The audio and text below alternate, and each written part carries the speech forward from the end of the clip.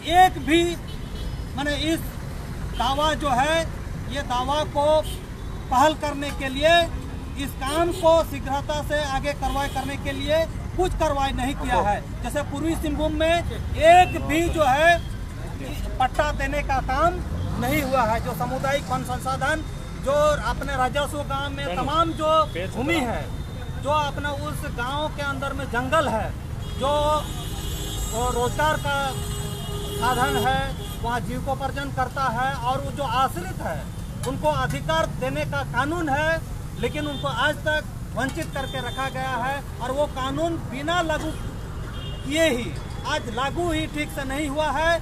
और फिर दोबारा जो है आदिवासियों के साथ यहाँ जो जहाँ अन्य परंपरागत निवासी जो वर्षों से रह रहे हैं उसके साथ फिर से जो है ऐतिहासिक अन्याय करने का सरकार साजिश रच रही है। इसीलिए इस कानून को हम लोग मांग करते हैं कि इस कानून को जो है केंद्र सरकार पहल करे और पुनर्वलोकन करने के लिए जो है अपना कार्य को जो है ये आगे बढ़ाए या अध्यादेश लेने का पहल करें और एक भी जो है, जो जंगल में जो बसोवास कर रहे हैं, जो रह रहे हैं, उनको बिना हटाए जो है, उनको अधिकार मिले। जो वन अधिकार कानून 2006 के तहत यही हमारा मांग है।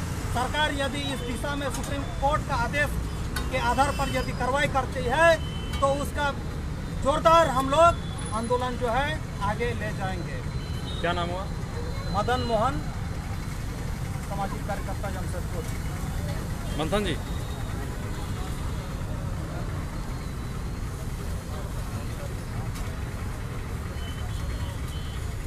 यह जो विरोध कार्यक्रम है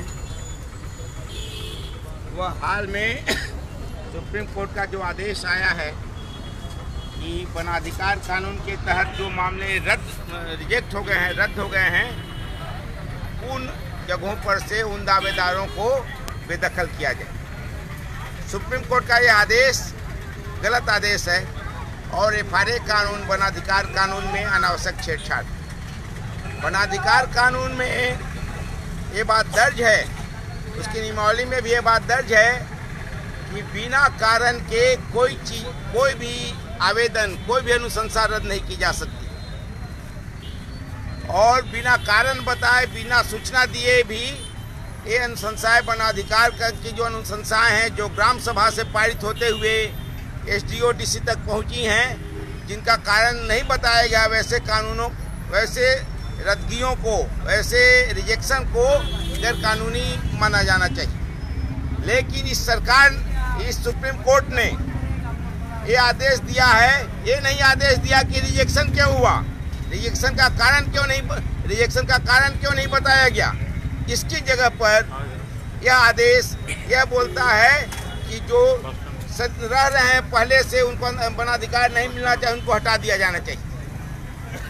सुप्रीम कोर्ट को यह सोचना चाहिए था कि अभी जो है जो सरकार के पास जो संसाधन है वो जीपीएस सर्वे के माध्यम से गूगल का जो जीपीएस के माध्यम से पता चल सकता था कि कौन कौन लोग किस ज़मीन पर 2005 के पहले से हैं। और उसके आधार पर जो है वहाँ जिस पर पहले से खेती हो रही है जहाँ जंगल नहीं है जहाँ 2005 के पहले से वहाँ खेती हो रही है उसके दावेदार कौन है खोजते हुए सरकार को अपनी पहल से लोगों को वनाधिकार देना चाहिए, व्यक्तिगत खेती का, और कम से कम जंगल के बगल में जो गाँव हैं, उनके पास का जो जंगल है, उसको तो सारे गाँव को वनाधिकार, सामुदायिक पट्टा मिलना चाहिए था। ये आदेश जारी करने के बदले जो तथाकथित पर्यावरणवादी हैं, जो जंतुओं को, जानवरों को बचाना चाहते हैं और आदमियों की ज़िंदगी क्या कोई वैल्यू नहीं देते हैं, कोई महत्व नहीं देते हैं, जिनको आदिवासियों जो, जिनको आदिवासी जंगल विरोधी लगते हैं। दरअसल, वन को बर्बाद करने वाला वन विभाग है, आदिवासी नहीं। तो ये जो होना चाहिए था कुछ पर्यावरणवादियों के मामले को ध्यान देते हुए सुप्रीम कोर्ट ने जो फैसला दिया है, वो वन विरोधी है वनाधिकार कानून विरोधी है, आदिवासी विरोधी है वन पर निर्भर रहने वाले जो पारंपरिक गैर आदिवासी निवासी हैं, उनके विरोधी है। और इसके, इस आदेश के पीछे का सबसे बड़ा कारण यह है कि नरेंद्र केंद्र सरकार ने, बाकी राज्यों की सरकार ने वनाधिकार के पक्ष में जो अपना पुख्ता आधार रखना चाहिए था, अपनी प्रतिबद्धता जो ज़ाहिर करनी चाहिए थी 2000 एफ़ के प्रति वनाधिकार कानून के प्रति, और 2005 से पहले जो वहाँ रह रहे हैं, खेती कर रहे हैं, उनके अधिकार के प्रति इसके लिए अच्छा वकील नहीं किया, एक सामान्य वकील केवल हाजिर रहने के लिए भेज दिया।